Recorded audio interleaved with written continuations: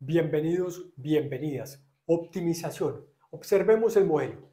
Hallar el rectángulo de mayor área que puede ser inscrito en un semicírculo.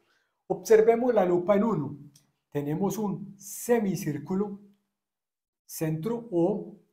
A este, esta figura es un rectángulo del centro al a un punto del círculo. Esta distancia es radio Bajamos la perpendicular, es decir, 90 grados, y ahí tenemos la figura.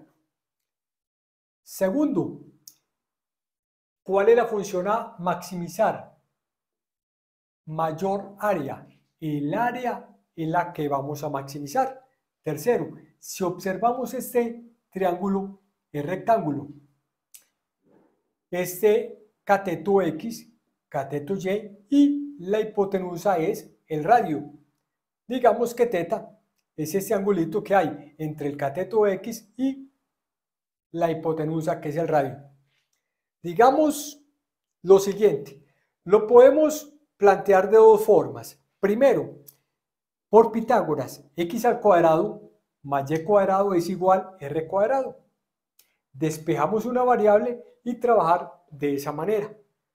La otra forma, que es la que vamos a emplear, hay muchas más para resolverlo, pero vamos a emplear esta manera con la función trigonométrica, aprovechando el ángulo teta. Seno de teta, el opuesto partido la hipotenusa. Despejamos la y, r seno teta. Coseno teta, adyacente sobre la hipotenusa, despejamos x, es r coseno teta. Vamos ahora a la lupa en 4. Tenemos el rectángulo. ¿Quién es la altura? Constante, y. ¿Y quién es la base?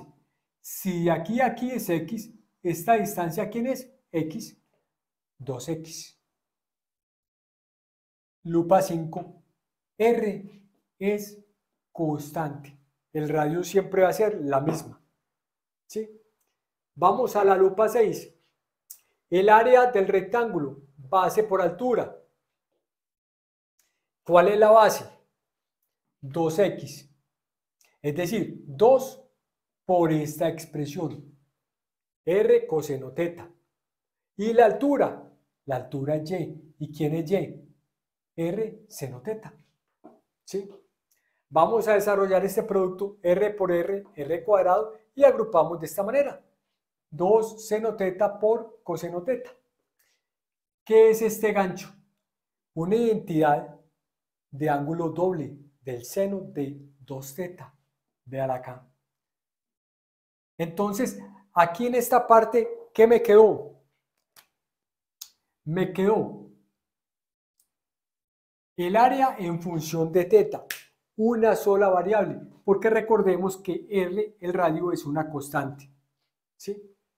Mientras que acá la teníamos en función de teta y r constante, pero ya más comprimida. Lupa 7.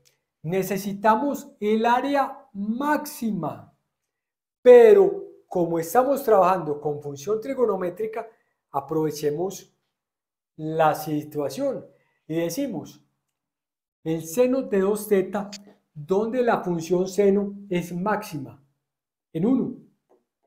Entonces decimos 2 teta es igual seno a la menos 1 de 1, que es lo mismo decir arco seno, igual 90 grados.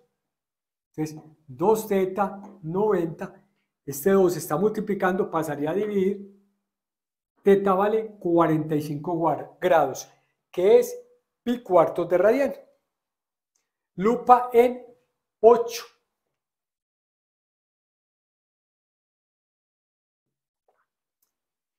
Ya teniendo teta 45 grados, me dan las dimensiones máximas.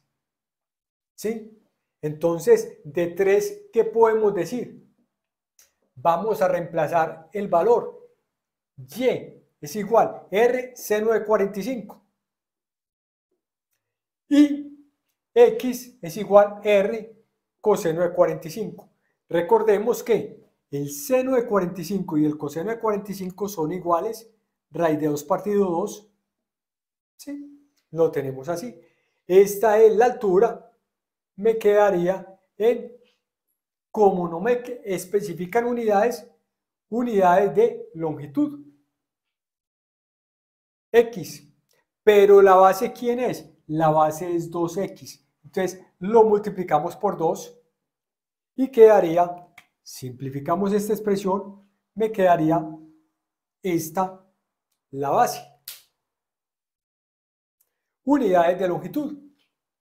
9. El área del rectángulo máximo va a ser, ¿cuál es el área del rectángulo? Base por altura, la base. Véala aquí. Y la altura la tenemos acá. La trasladamos. Quedaría raíz de 2 por raíz de 2. Vamos a tener esta situación. ¿Cuántas veces se repite esta raíz? Dos veces mediante un producto. Y aquí sale este 2 que tenemos acá. Simplificamos. ¿Cuál es el área del rectángulo máximo?